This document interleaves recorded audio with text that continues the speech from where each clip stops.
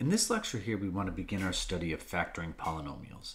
Now, this is an incredibly important topic um, that's going to come up throughout the class, factoring a polynomial. So what we're going to do is we're going to take this lecture and we're going to cover many different factoring methods, okay? We're going to talk about factoring out the greatest common factor of a polynomial, factor by grouping, factor trinomials, factor the difference of two squares, factor perfect square trinomials, factor the sum or difference of two cubes, and then finally factoring polynomials fully.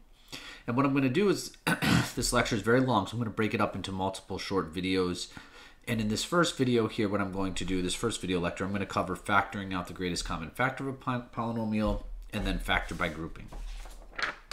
Okay, so first to begin, um, what, what, what exactly do I mean by factoring a polynomial? so factoring a polynomial expressed as the sum of monomials means finding an equivalent expression that is a product.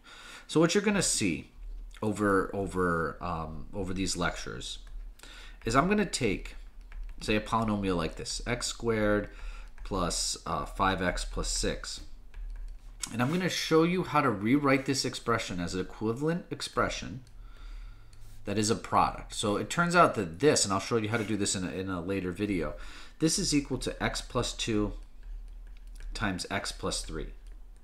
And what's going on here is you took this polynomial and you took and you and you rewrote it as the product of, of two two much simpler polynomial expressions. And that's our goal. So we want to take a, a polynomial and rewrite it that is the product of two two easier polynomials, two two sim, more simple polynomials.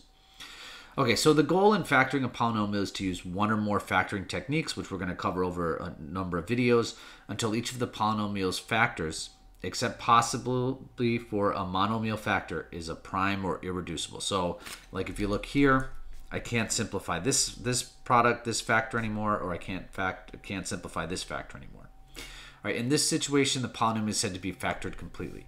And that's our goal. We want to take something like this,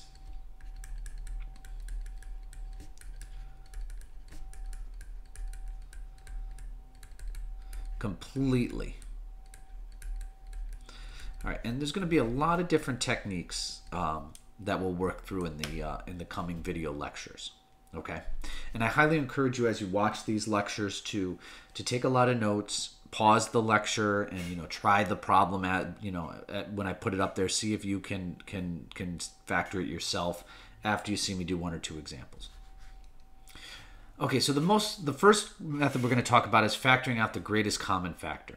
Okay, so the greatest common factor, abbreviated GCF, greatest common factor, and is a, is an expression of the highest degree that divides each term of the polynomial. Okay, so what I mean by that is, look, if you have two numbers here, okay, let's just take uh, the numbers, I don't know, 12 and 8. Okay, what are, you know, what is the greatest common factor of these numbers? You know, well, 2 goes into both of them. Yeah, yeah, yeah. I can rewrite this as 2 times 6. This is 2 times 4. Okay. I could rewrite this as 3 times 4. Well, look here. This number 4 is the largest number that will divide evenly into both of these. So the greatest common factor of these two numbers is 4. And so what, what I want to do is I want to take this concept here okay this this this concept of, of finding the, the largest factor that goes into a number and factoring it out of a polynomial. So what's going on here is you're going to be undoing the distributive property basically. Okay so let's factor each of the following all right? So we'll start with something like this. 10x cubed minus 4x squared okay?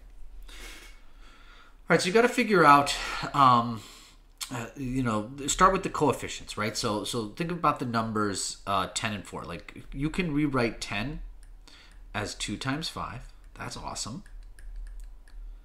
And you can write 4 as 2 times 2 and don't forget I'm putting these little x squareds there and x cubed there still. Well look right off the bat you can see that they both have a factor of 2 in it. So what I'm going to do is I'm going to factor this out. I'm going to undo the distributive property okay with those Sorry, this is multiplied by here. Okay, so the next thing you're going to do, and I'll rewrite it just so it's a little bit easier, is you're going to look at um, the variables. Could I rewrite x cubed as, well, let's see. 2 times 5. Is x cubed the same thing as x squared times x? Yes, yes it is. Now, now, now look at this, this expression here. They each have a 2, and they each have an x squared. So what I'm going to do is I'm going to factor those out. I'm going to take them out of the expression. So I'm going to take out a 2x squared. And look what I have left. Well, in this first term here, I have 5 times x minus 2, and then the 2 and the x squared came out, so just minus 2. And this right here is now factored completely.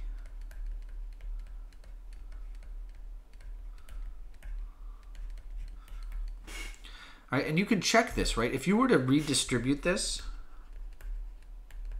you'd go 2x squared times uh, 5x, you'd get 10x cubed. 2x squared times this minus 2 gives me minus 4x squared. And look, you get the same thing. You get back to, to where you were here. Let's try this one. Let's look at 2x times x plus 3 plus 3 times x plus 3. All right, well, look here. Do you notice that this is 2x times x plus 3, and this is 3 times x plus 3? They both have literally an x plus 3 in them. So I'm going to factor it out. I'm going to take it out. So when I take out the x plus 3, what am I left with? I'm left with 2x plus 3. All right, now let's try this one. Let's try 25 x squared y cubed minus 15x y squared. So this is a polynomial in two variables. All right, so I'm going to try to do this a little bit of a shorthand way. Okay, so look at the 25 and 15, right? Right off the bat, like what's the greatest common factor of 25 and 15? Well, a 5 goes into both of them. So when I factor out a 5, right, what am I left with in the 25? I'm left with a 5. Don't forget this minus. Minus 3. Now let's look at the x squared x. Well, the largest factor here between x squared and x is an x. So I'm going to put one x out here. And then I still have x squared here, so I need a little bit of an x left behind. And then y cubed minus y, or, and then I have this, this y squared over here. Well, well, y cubed is the same thing as y squared times y. So I'm going to factor a y squared out of both of them. And then you're just left with this 1y here from this. So this very simply factored as 5xy squared times 5xy minus 3. And if you were to redistribute this back, okay, you would see that you would get exactly the same thing. So so the, this this method works. And I promise you, you know, the the more you practice this, the easier and easier and easier it will become. All right, let's talk next about uh, another method called factor by grouping. Okay, so some polynomials have only a greatest common factor of 1. Okay, so let me show you this first one here. If you look at 3x squared plus 6x plus 4x plus 8. Okay, so this, this factor by grouping generally works with four-term polynomials.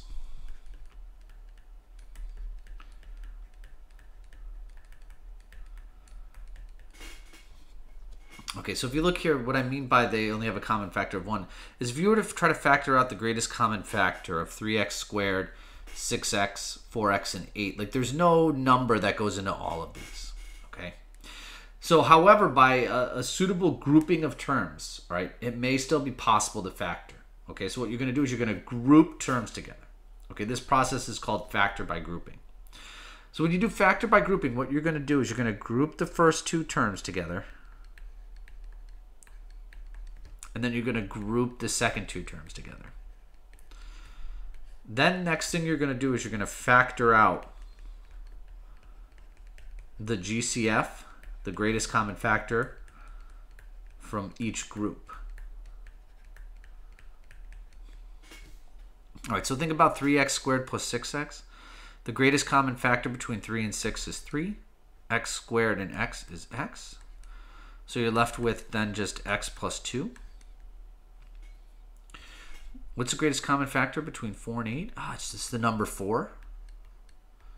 So I'm going to factor out a 4. So when I do, I'm left with x plus 2. Now, again, notice, check this out. I have 3x and then in parentheses times x plus 2 plus 4 and then in parentheses times x plus 2. Notice they both have an x plus 2. So now factor out the common group in each term.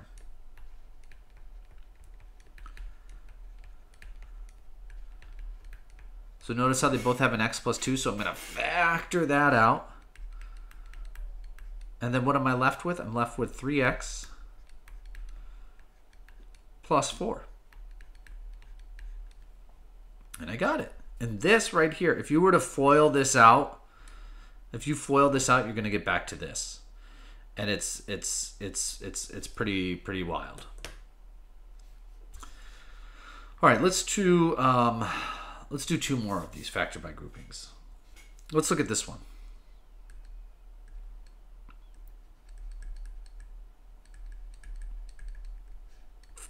Let's look at this x cubed minus 2x squared plus 5x minus 10. Okay, so notice there's no greatest common factor among uh, the four terms. So what I'm going to do is I'm going to group the first two, and I'm going to group the second two. And I'm going to factor out the greatest common factor. So the greatest common factor between x cubed minus 2x squared is just x squared. I'm going to take out an x squared. I'm left with x minus 2. Look here. 5x minus 10, the 5 and 10. So I'm going to factor out a 5. I'm left with x minus 2. And check this out. Right here, they both have a x minus 2. So I'm going to factor that out. And I'm left with x squared plus 5. All right, let me do this, this last example of this because this is a little bit tricky. Uh, let's look at let's look at x cubed plus 5x squared minus 2x minus 10. All right, notice, notice you have a negative in the middle.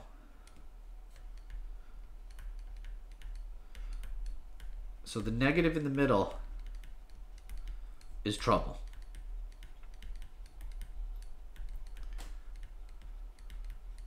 So I'm going to group the first two terms together. Now watch this. I'm going to put this minus. So when I group this here, notice the negative is on the outside now. So when I redistribute it, I get the minus 2x. Uh-huh. But what's uh, what's a minus times a minus now? Plus. Okay, so if you were to redistribute it, you get back to the minus 2x. And then minus plus gets you the minus. So when you put this negative in the middle, okay, right here, you're going to have to change the sign of the middle term. Or the end term, excuse me here.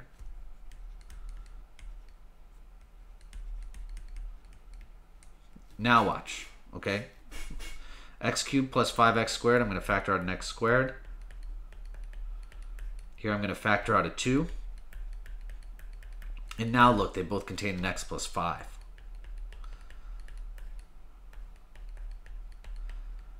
So just be careful of that, um, that negative in the middle there when you do these factor by grouping.